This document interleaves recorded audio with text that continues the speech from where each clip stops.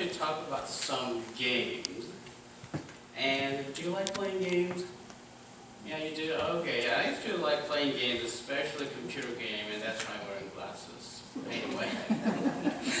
um, uh, today, uh, there are many different kinds of games, and, and out of those, uh, I want to talk about a game called Simon Says. Uh, sometimes I play this game with Gilbert. Does anyone know Simon Says? Oh, Maybe why don't we, uh, are you good at it?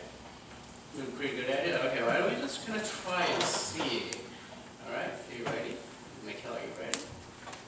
All right, let's try this. Simon says, touch your nose. Simon says, touch your hair.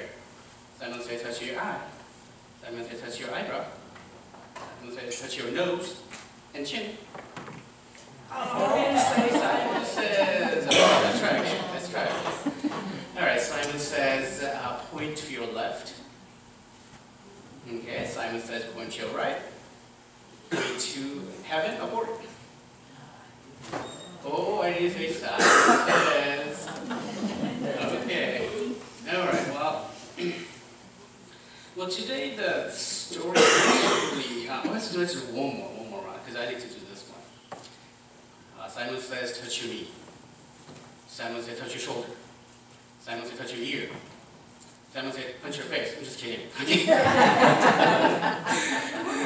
okay, so that was just joking. All right, sometimes we do that. do that with Gilbert.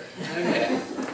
Um, sometimes we have a Simon in our little head and whispering what to do or what to say.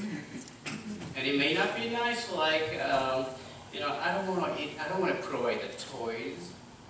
You know, I don't want to clean up the mess. Or I don't want to eat broccoli. And do you ever feel that way at school, at home? Sometimes uh, you feel that way? Yeah. So now when you feel that way, uh, I want you to actually start playing a different game. And I kind of developed this. It's called Jesus Says Game. So try to listen to what he's trying to tell you and then follow his instruction. And don't punch your face. All right, um, does anyone want to read some of the verses?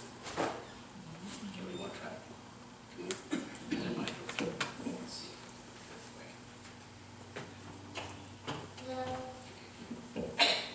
Those who listen to, to instructions will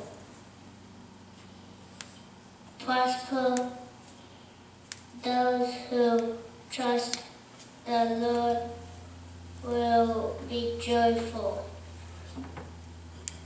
I listen carefully to what God the Lord is saying, for he speaks peaceful to his faithful